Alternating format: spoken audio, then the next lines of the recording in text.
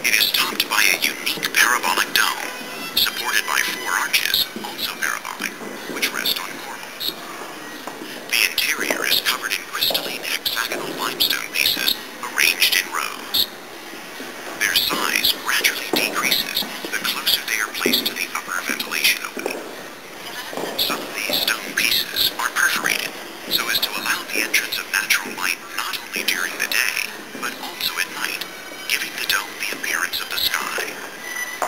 In addition to the beauty of its shape and space, the dome is known for its excellent acoustic quality. This hall was used for concerts, operas, and oratories, cultural and literary gatherings, and receptions in honor of illustrious guests. It was also used for religious services. It was in this